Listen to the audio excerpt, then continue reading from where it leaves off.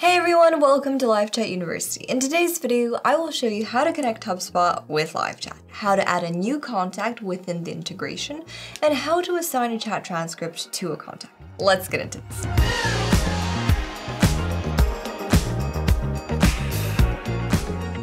HubSpot integration is a hassle-free way to add your customers as new contacts and enrich their profiles with notes that can include conversation transcripts and additional information about your customer.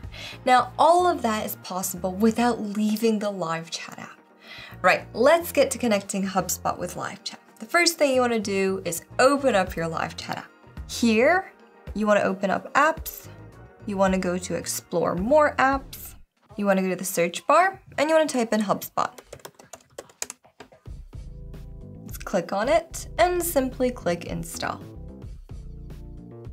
Now we want to go to the chat section and open up an ongoing chat. In Customer Insights, we want to open the HubSpot integration and click Connect to link your HubSpot account with live chat. So now we're redirected to the HubSpot authorization screen. Now you'll either have to log in to your HubSpot account or you'll simply have to choose one. So we're gonna do that. You also might have to grant access to your HubSpot account by agreeing to the terms and the privacy policy. And that's it. Your HubSpot is now connected with live chat and you can start using this integration to close more deals. So with the HubSpot app, you can add your customers as new contacts and save the conversation transcripts by attaching them as notes. You can also edit your notes so they include the chat transcript and additional information about the customer. Let's start with adding a new contact.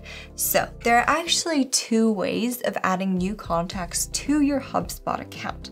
For the first one, you want to go to the chat section, you want to open up an ongoing chat, and in Customer Insights, you can either click on Add Person right here, or you can open up the HubSpot integration and you can click on Add Contact. So let's click on it. And that's it. Your customer is now listed as a contact, both in your live chat and in your HubSpot dashboard. Let me show you how it looks quickly. So for that, we want to open up our HubSpot dashboard. You wanna make sure that you have the tab contacts open here. And as we can see, Liliana K is a new contact in our HubSpot dashboard. By the way, you can also add a new contact from the archive section in your live chat app. Once your customer is listed as a contact, you can enrich their profile with a note. A note can include a transcript of a chat with your customer and other information that you can add by editing a note.